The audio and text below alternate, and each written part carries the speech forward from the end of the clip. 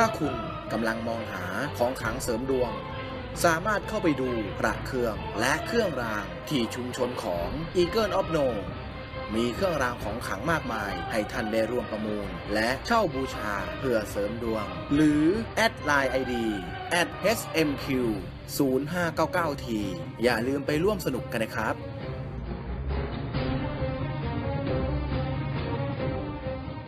พบกับพุทธคุณดี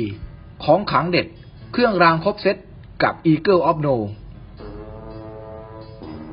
สวัสดีครับ พบกับ Eagle of No กันอีกครั้ง วันนี้เราจะนำเสนอเรื่องอะไรนั้น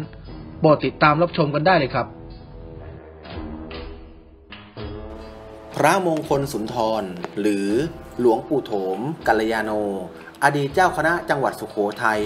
และอดีตเจ้าอาวาสวัดธรรมปัญญาราม ตำบลตโนดอำเภอคีรีมาศ จังหวัดสุขโขทัยพระเกจิชื่อดังที่มีวิชาแก่กล้า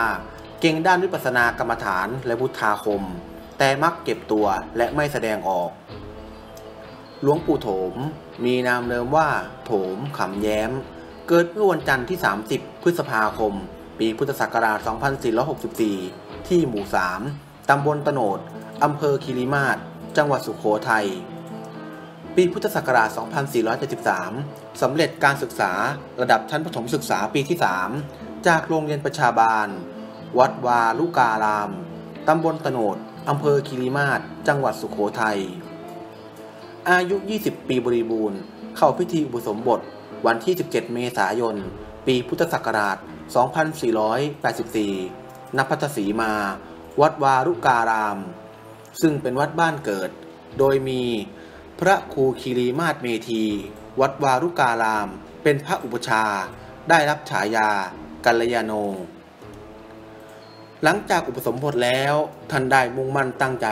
ศึกษาพระปริยติธรรมอย่างแข่งขัน ในปีพุทธศักราช 2488 สอบได้นักธรรมชั้นโท สำนักศาสนศึกษา วัดวาลุการาม หลวงปู่โถม สร้างคุณูปการ แก่เมืองสุขโขทัยหลายด้านมากมาย อาทิ การพัฒนา ด้านการพระศาสนา ด้านการศึกษา ด้านสาธารณสุข ด้านประเพณีวัฒนธรรมท้องถิ่น ตลอดทั้งสาธารณประโยชน์ต่างๆ สนับสนุนส่งเสริมประเพณีวัฒนธรรมพื้นบ้าน ปลูกฝังความรักความเข้าใจ เห็นอกเห็นใจซึ่งกันและกัน โดยให้ประชาชนรวมกันลงแขกเกี่ยวข้าวทำไร่ทำนาทำบุญกลางหมู่บ้าน ทอดกระถิน ผ้าป่า งานอุปสมบทหมู่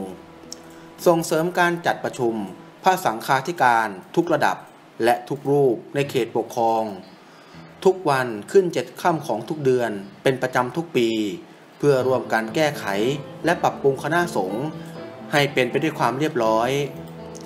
นอกจากนี้ยังได้สร้างศาลาการประเรียน ก่อสร้างกุฏิ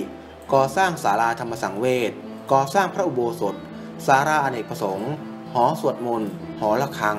และกำแพง ให้กับวัดต่างๆ ในพื้นที่เป็นจำนวนมาก รวมทั้ง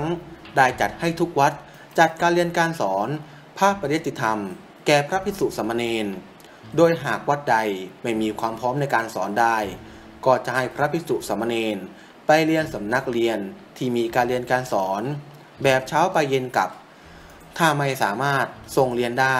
ให้เจ้าคณะตำบลมอบหมาย ให้เจ้าวาสหรือพระภิกษุสมเณร ผู้มีความสามารถสอนจัดการเรียนการสอนขึ้นภายในวัดนั้นๆแทน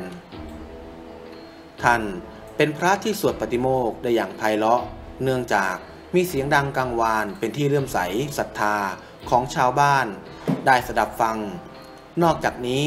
ท่านยังมีความชำนาญในการปั้นพระพุทธรูปและการหล่อระฆัง โดยได้ปั้นพระพุทธรูปและหล่อระฆัง มอบให้กับวัดทั้งในจังหวัดสุขโขทัย และวัดในเขตติดต่อกับจังหวัดสุขโขทัยเป็นจำนวนมาก ผลงานด้านการสาธารณสงเคราะห์จะซื้อที่ดินจำนวน 31 ไร่ 3 งาน สร้างโรงพยาบาลคิริมาศโดยไม่ใช้งบประมาณของทางราชการ และยังจัดสร้างสถานีอนามัย พร้อมทั้งจัดซื้ออุปกรณ์ทางการแพทย์ มอบให้กับโรงพยาบาลคิริมาศรวมทั้งจัดสร้างที่อ่านหนังสือพิมพ์ประจำหมู่บ้าน และสร้างถนนทางเดินระหว่างหมู่บ้านและวัดอีกหลายแห่ง ลำดับงานปกครองปีพุทธศักราช 2490 เป็นรองเจ้าวาดวัดวาลุการาม ปีพุทธศักราช 2491 เป็นเจ้าคณะตำบลตโนด ปีพุทธศักราช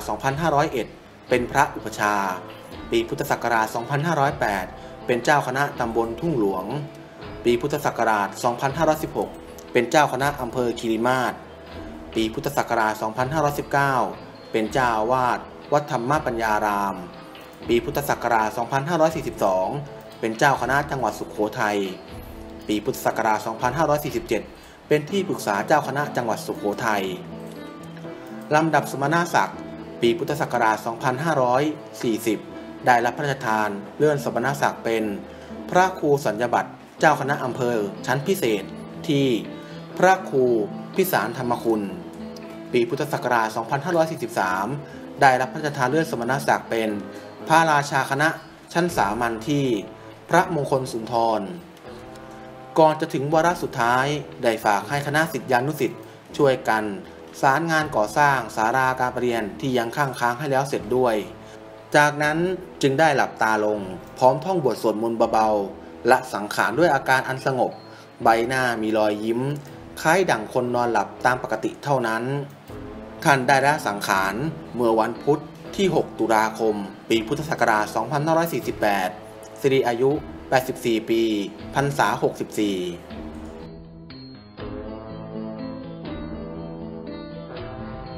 ก็จบกันไปแล้วนะครับสำหรับการนำเสนอในครั้งนี้ ในคลิปต่อไปเราจะนำเสนอเรื่องอะไรนั้น โปรดติดตามกันด้วยนะครับ ถ้าชอบโปรดกดไลค์ ถ้าถูกใจโปรดกดแชร์ ถ้าไม่อยากพลาดคลิปใหม่ๆ โปรดกด Subscribe อย่าลืมกดกระดิ่งกันด้วยนะครับ